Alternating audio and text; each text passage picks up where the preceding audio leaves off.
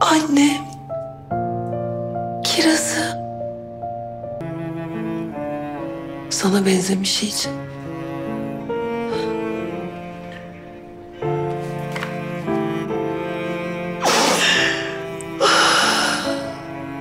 Hastaneye kapatılmış bir deliyim ben olmuş.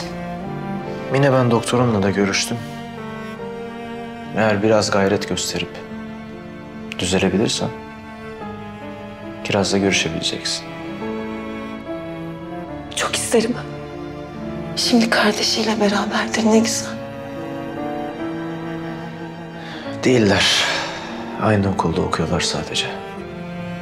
Kardeş olduklarını bilmiyorlar. Konuşamadım Kiraz'la.